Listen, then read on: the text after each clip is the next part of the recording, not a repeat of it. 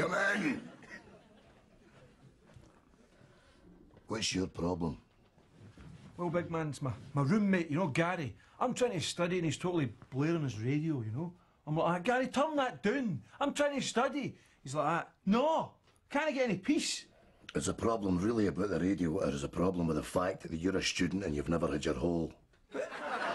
See, since I became student advisor at this university, I've learned to think a wee bit more about people's problems. I'm looking at you and I'm thinking, you're going to need the big man to sort you out with a wee bird. Now, my niece Chanel, she's into guys like you. The kind of guys that burst out greeting as soon as they get a float of their Volvic. Wee sensitive, well, I don't want to say poofs, but bum boys, you know what I mean? You got a number, big man? No, I don't. But you'll find it in the gents lavy was listed under I want a tussle with your cheesy muscle. She asked me to put it up there. Now you get it fired into Chanel, then you'll be a real man. Then you go and find the boy, you take the tranny off him, and you stick it that far up his ass, he'll be farting the archers for six weeks. You'll your way out. Send the next one in. Cheers, big man. Right, before you open your mouth, why you dress like that? I'm just expressing my individuality, big man, yeah? Shut it, Fanny Paws. Are you dressed like a fuck because you're no getting your hole? Yes. Right. Look, my I'm a mother, I'll vouch for her. She is 18. No identification, no entry. Is there a problem here? Big man. Big man, this wee idiot will not let my lassie in to see an 18 film. I thought the smell of pish was coming for this direction. What age are you supposed to be? 24? If it's state pies older than that. I bet the big man was to stick his hand down your knickers, he wouldn't find any hair. Just traces of your old man's lipstick. The girl's got no identification. Give the lassies the tickets, or the big man will stick his mobile phone up your kiki winker and keep phoning it till your ass gets a brain tumour. But the manager. Never mind the manager, ballbag. The big man's getting sick of this conversation. You want ID? There you go. Okay. Right, give the two lassies the best seats in the house. And I mean the best. Thanks, big man. No problem, though. Right, the big man would now like two tickets for himself for the main feature. Uh, just give them the last two tickets to those women. Right, pick a shoe, we'll see if your back fanny can untie laces.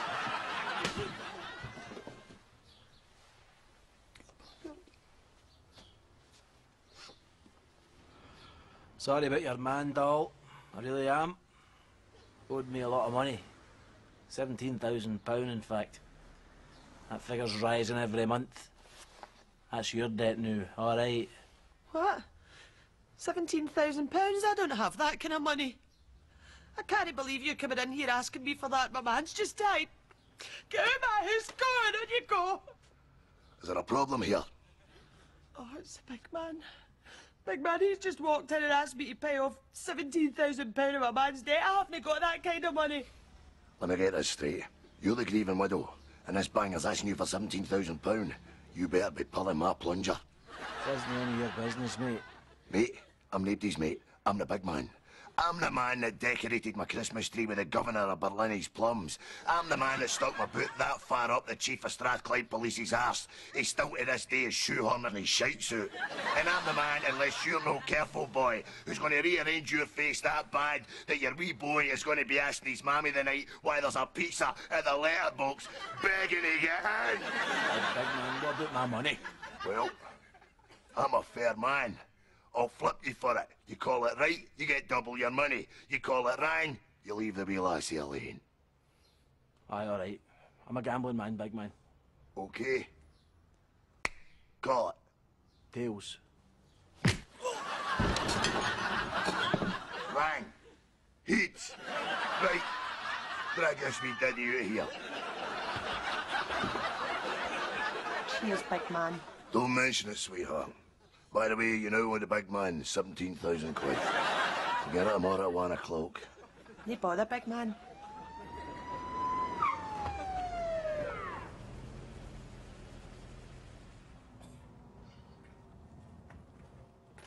Is there a problem here? Big man, I didn't realise it was you.